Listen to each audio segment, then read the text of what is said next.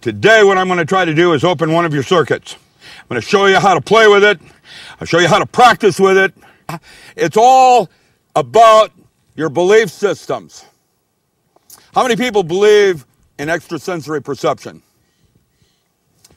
Well, now we got something to go for here, but when SEALs would do it, maybe two out of seven. That's why the first SEAL unit was only eight unit, oh, only eight of us. The new SEAL units are all bigger. There was eight of us, and we were little monsters. no, no, I got some stories. um, I've got you know memories. you know, there's no bone, and uh, you know we've been places, saw things, and now uh, know how to see the fruit in the trees. Look at that red over there in those trees. Teaching you how to see things far away and right here in front of you. Because guess what? Space and time are not real. And that means it's not really extrasensory perception. Dr. Rhine in the 30s broke the phenomena into two categories.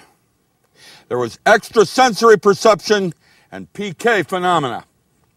Now, PK phenomena was outside the body, and ESP was inside the body. And while I have delved in this area with remote viewing and things of that nature, that's dangerous. As I'm doing my little Tai Chi, and I'm a monkey warts on the on the on the on the limb. you know, uh, this part was broken into five categories. And we're going to talk about each one. It's broken in five categories. I'm going to name them and then I'm going to talk about each one. There's clairvoyance, telepathy, precognition, precognition. I went through a senior ADD moment there. Astral projection and radiesthesia. You know, like uh, Hieronymus and all the Japanese lanterns above you fell down in a nice little pod thing.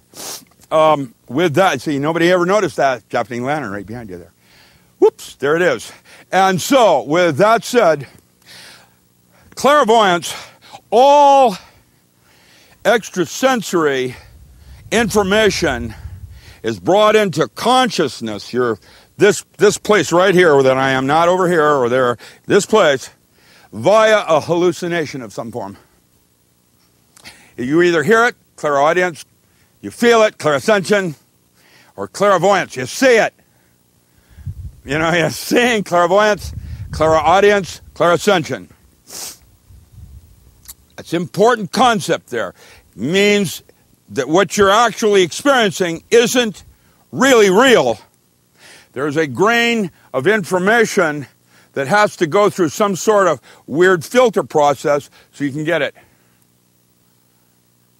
But the fact is, you have it all. And what you need to do is focus on individual spots. So, my first book, the ESP book, talks at the eighth chapter, talks about the different depths of hypnosis.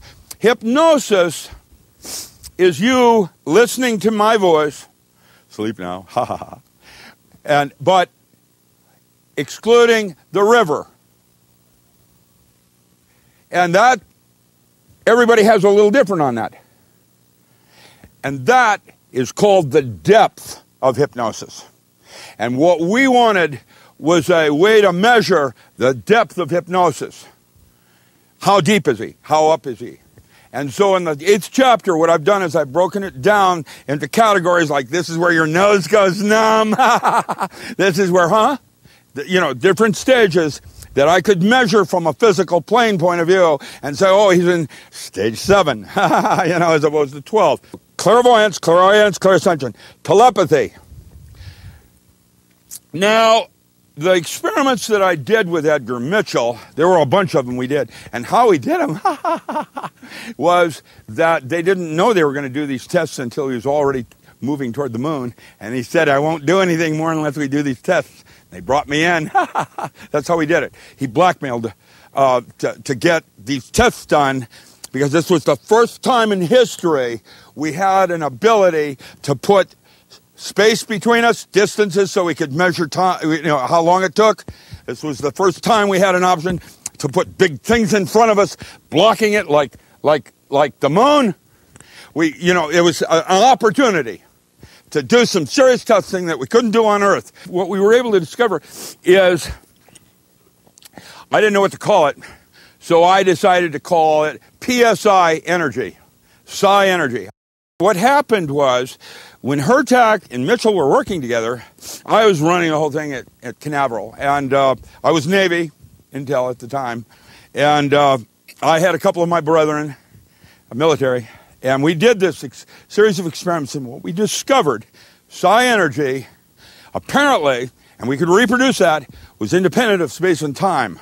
That means that we were dealing on something more fundamental than space time, uh, space time. We were dealing with a subset that was more real than our illusion of space time. Your, your concept of time, for example, is Robert Ornstein says it is a duration of consciousness. It is the way you wrap proteins and the fact that you have two brains and you have a little bottleneck down there. And so to move it around in a holographic system takes time or the illusion of it going from one place to the other with little signals going and moving the memory and the wrapped proteins and so on, microtubule.